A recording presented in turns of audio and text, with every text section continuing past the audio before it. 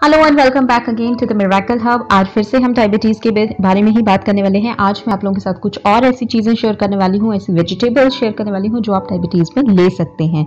हम अक्सर डायबिटीज़ को जो है ब्लड शुगर के प्रॉब्लम के साथ रिलेट करते हैं। हम कहते हैं कि ब्लड शुगर का प्रॉब्लम और डायबिटीज़ एक ही चीज़ है बट ऐसा नहीं है। इससे कहीं ज़्यादा इफ़ेक्ट डायबिटीज़ की वजह से होता है। टाइप टू डायबिटीज़ को आप कनेक्ट कर सकते हैं इंसुलिन रेजिस्टेंस के साथ, जो अगेन फिर एसोसिएट होता है फैटी लिवर की प्रॉब्लम के साथ हार्ट डिज़ीज़ के साथ एबनॉर्मल कोलेस्ट्रॉल लेवल्स के साथ हाई ब्लड प्रेशर एंड बहुत टाइम से कुछ एक तरह के कैंसर के साथ भी रिलेट किया जा सकता है एसोसिएट किया जा सकता है। सो so, जब हम कुछ खाने के बारे में सोच रहे हैं जो कि हमें डायबिटीज़ की डाइट के लिए प्लान करना है हमें ये भी सोचना ज़रूरी है कि क्या वो हमारी हार्ट की प्रॉब्लम्स को तो नहीं बना बढ़ा रहा है। हमें अपने हार्ट डिज़ीज़ को प्रिवेंट करना है कैंसर प्रिवेंशन के लिए भी खाना है जब हम डायबिटीज़ की डाइट को प्लान कर रहे हैं। डिफरेंट जो हमारी वेजिटेबल्स होती हैं, उनमें डिफरेंट तरह के न्यूट्रिएंट्स होते हैं डिफरेंट टाइप के फाइबर्स होते हैं। एंड ये सभी जो है, वो डायबिटीज़ मैनेजमेंट के साथ साथ हमारी ओवरऑल हेल्थ को मैनेज करने के लिए भी बहुत ही ज़्यादा अच्छे होते हैं। So now let's talk about the healthier and low carbs vegetables जिनमें कि हम लोगों को कार्ब्स कम मिलेंगे फाइबर ज़्यादा मिलेगा। सबसे पहला ऑप्शन हमारा है कैरेट यानी कि गाजर। फाइबर होता है इस नॉन स्टार्ची वेजिटेबल्स में, जो हेल्प करता है फील करने में कि हमारा अभी तक स्टमक फुल है और हम दोबारा हमें भूख नहीं लगती है बार बार नहीं खाने की वजह से शुगर शोटअप होने के जो चांसेस हैं वो बहुत कम हो जाते हैं। कैरेट में एक बहुत अच्छी कैपेबिलिटी होती है, इसमें फाइबर बहुत ज़्यादा होता है और वाइटामिन ए बहुत अच्छा होता है, इसमें रिच इन वाइटामिन ए होती है ये, जिसकी वजह से कि ये इम्यूनिटी और हमारे आईज को भी बहुत ज़्यादा अच्छा रखती है। मतलब इम्यूनिटी अगर आपकी अच्छी नहीं है तो आपको कैरेट को अपनी डाइट में इंक्लूड ज़रूर करना चाहिए। चाहिए। Now the next option is broccoli broccoli broccoli जो है, वो क्रूसीफेरस फैमिली की एक मेंबर है। एंड ये पैक्ड होती है बहुत सारे फाइबर के साथ एंड न्यूट्रिएंट्स के साथ। Zucchini zucchini is high in carotenoids compound एक ऐसा होता है कैरेटिनॉइड जो कि आपकी हार्ट की हेल्थ को बना के रखेगा और आपको कुछ एक कैंसर्स के अगेंस्ट प्रोटेक्ट भी करेगा। लो होती है कैलोरीज में और फाइबर बहुत ज़्यादा होता है जुकीनी में। Now talking about the cabbage cabbage यानी कि जिसको हम बंद गोभी या फिर पत्ता गोभी भी कहते हैं it is high in vitamin C इसमें वाइटामिन सी बहुत ज़्यादा होता है एंड ये आपकी जो हार्ट हेल्थ है, उसको पॉजिटिवली इफ़ेक्ट करता है because it is rich in vitamin C और इसमें बहुत ही अच्छा फाइबर भी होता है, ये रिच सोर्स होता है फाइबर का।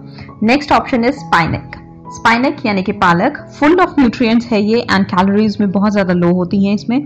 रिच इन आयरन है, इसीलिए आपके हेल्दी ब्लड फ्लो के लिए बहुत ज़्यादा अच्छा माना जाता है। अगर हीमोग्लोबिन की प्रॉब्लम है एंड साथ में आप डायबिटिक हैं, आप स्पाइनक को अपनी डाइट में बिना कुछ सोचे इंक्लूड कर सकते हैं। Moving on to the next one tomatoes टमाटर। लाइकोपिन बहुत ज़्यादा होता है इनमें। ये एक ऐसा कंपाउंड है जिसको लिंक किया जाता है lower risk of heart disease के साथ और कुछ कैंसर्स को भी ये प्रिवेंट करने में हेल्पफुल रहता है।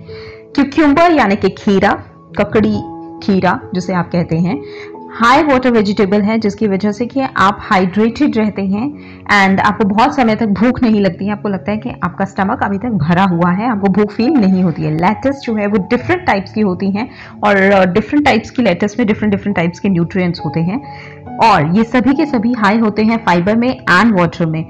अगर आप इंटेक कर रहे हैं रेड लीफ लेटस का तो इसमें जो डेली रिकमेंडेड अमाउंट होता है ना हमारा वाइटामिन के का, उससे भी ज़्यादा अमाउंट में प्रोवाइड कर सकता है ये आपको वाइटामिन के अगर आप रेड लीफ लेटेस को ले रहे हैं और ये जो विटामिन के है, ये ब्लड क्लॉटिंग के लिए बहुत ज़्यादा अच्छा है बोन की हेल्थ को आपके बना के रखने के लिए बहुत ही ज़्यादा अच्छा है। इन जनरल अगर हम बात करते हैं तो जो स्टार्ची वेजिटेबल्स होती हैं, वो लो होती हैं कार्बोहाइड्रेट्स में और कैलोरीज में एंड स्टार्ची वेजिटेबल्स जो हैं, उनमें ये सारी चीज़ें हाई होती हैं।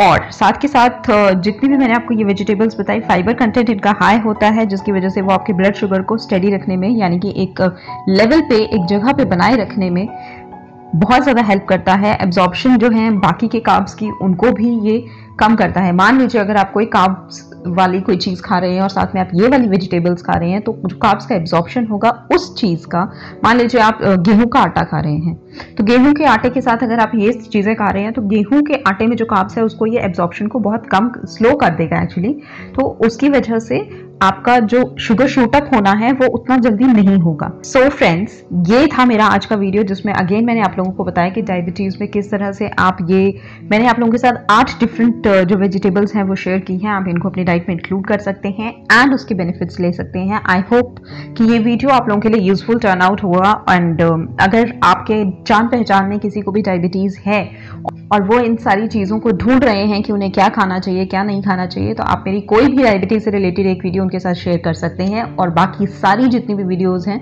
उनके लिंक्स नीचे डिस्क्रिप्शन में मैंशनड हैं तो आप उनके साथ ये वीडियो शेयर कर सकते हैं और अगर आपको खुद को ये प्रॉब्लम है तो भी आप ये चीज़ें डाइट में इंक्लूड कर सकते हैं।